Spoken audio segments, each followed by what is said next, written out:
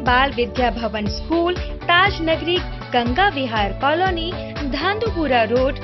Agra का ऐसा विद्यालय जो आपके बच्चों को देता है संपूर्ण विकास,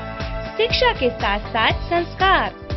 मस्तिष्क के साथ साथ स्वास्थ्य हेतु खेलों की समुचित व्यवस्था हाईटेक एजुकेशन कंप्यूटर शिक्षा, सुरक्षा हेतु सीसीटीवी कैमरों की निगरानी में शिक्षा। प्रशिक्षित शिक्षक, शिक्षिकाएँ हाई एजुकेटेड मैनेजमेंट लाने ले जाने के लिए बस सुविधा।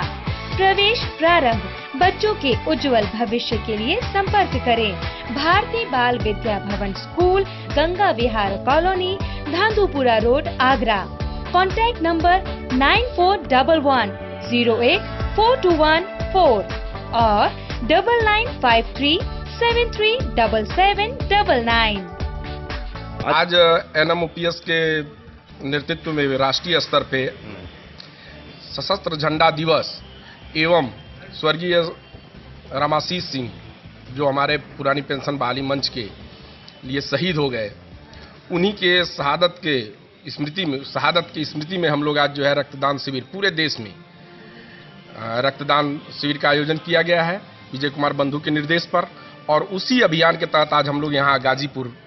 इकाई से हम लोग कर रहे हैं। मैं यहाँ पर अपने साथियों के साथ पुरानी पेंशन बहाली के लिए सरकार का ध्यान आकृष्ट कराने के लिए और साथ ही साथ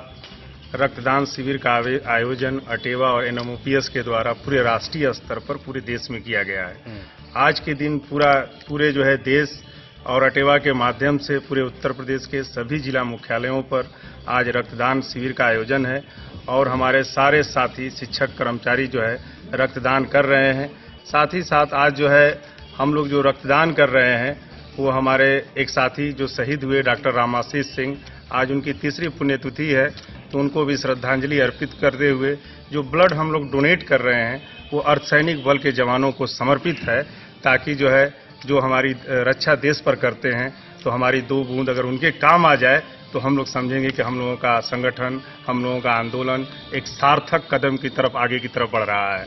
साथ ही साथ हम ये कहना चाहेंगे कि आज जो हमारे साथी ये बहुत